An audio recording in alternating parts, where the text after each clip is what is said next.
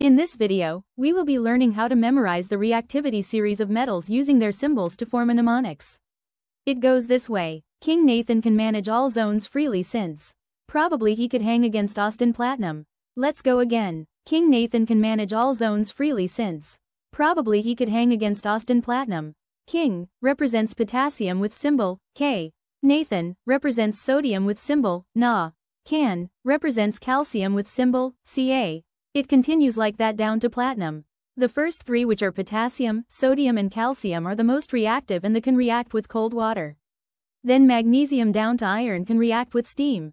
Then from tin down to platinum are non-reactive. With that being said, potassium is the most reactive metal, while platinum is the least reactive. The metals above hydrogen on the reactivity series can displace hydrogen in a displacement reaction since they are more reactive. Hope you enjoyed the video, don't forget to give a thumbs up and also subscribe.